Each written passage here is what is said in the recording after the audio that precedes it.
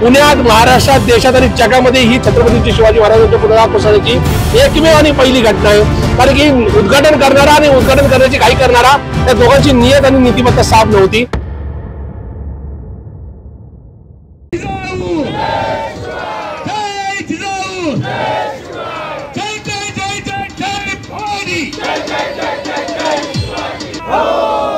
छत्रपती शिवाजी महाराज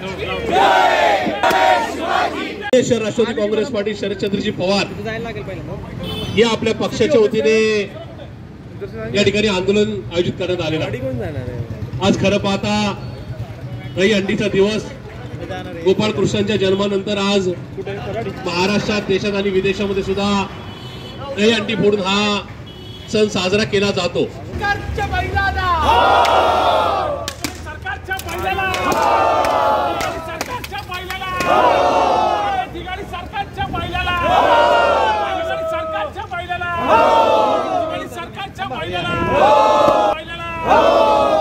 छत्रपती शिवाजी महाराज.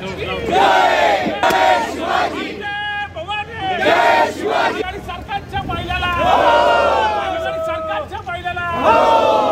सरकारच्या महिलाला एकोणीसशे एकसष्ट साली त्यावेळेस तत्कालीन पंतप्रधान त्यांची नियत साफ होती असे पंडित जवाहरलालजी नेहरू यांनी ज्या छत्रपती शिवाजी महाराजांच्या पुतळ्याचं उद्घाटन केलं होतं तर मागची चौसष्ट वर्ष तो पुतळा त्या पुतळ्याची साधी नाही का चौतऱ्याची नाही का वीट सुद्धा हल्लेली नाही.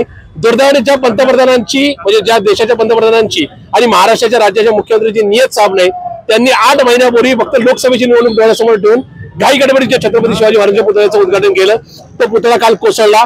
पुण्यात महाराष्ट्रात देशात आणि जगामध्ये ही छत्रपतींची शिवाजी महाराजांच्या पुतळा कोसळण्याची एकमेव आणि पहिली घटना आहे. कारण की उद्घाटन करणारा आणि उद्घाटन करण्याची घाई करणारा या दोघांची नियत आणि नीतिमत्ता साफ नव्हती. फक्त आणि फक्त निवडणुका डोळ्यासमोर ठेवल्या जात होत्या. त्याच्यामुळे कालचा हा कुसळ पुतळा जो कोसळला आहे तो पुतळा कोसळता आमचा स्वाभिमान कोसळला. स्वाभिमान आणि कोण महाराष्ट्राची अस्मिता कोसळली. आहे आणि म्हणून या तिघाडी सरकारच्या पापाची नाही का हंडी फोडण्याकरता आणि छत्रपती शिवाजी महाराजांची माफी मागण्याकरता आम्ही या ठिकाणी आंदोलन केले. आज आम्ही छत्रपती शिवाजी महाराजांना दुग्धावेशी घालून छत्रपतींची या ठिकाणी माफी मागली. एक तिघाडी खोके आणि नालायक सरकार या राज्यात असल्यामुळं आज ही वेळ आलेली आहे. त्याच्यामुळे हे करत असताना आज दीपक केसरकर नावाचे एक नालायक मंत्री असं बोललेत की हा अपघात दुर्दैवाने हा अपघात आहे.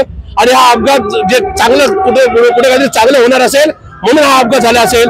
या नालायक माणसाला छत्रपती शिवाजी महाराजांचा पुतळा या ठिकाणी चांगला अपघात वाटत असेल. तर या राज्यातल्या मुख्यमंत्र्यांची आणि ना का एकूणच मुख्यमंत्र्यांची एक नीतिमत्ता काय ते दर्शवणार आहे. म्हणून या तिघाडी सरकारचा या ऐकूनच नाही का एकनाथ शिंदे अजितदादा आणि देवेंद्र फडणवीस सरकारचा मी तीव्र शब्दात धिक्कार व्यक्त करतो निषेध व्यक्त करतो.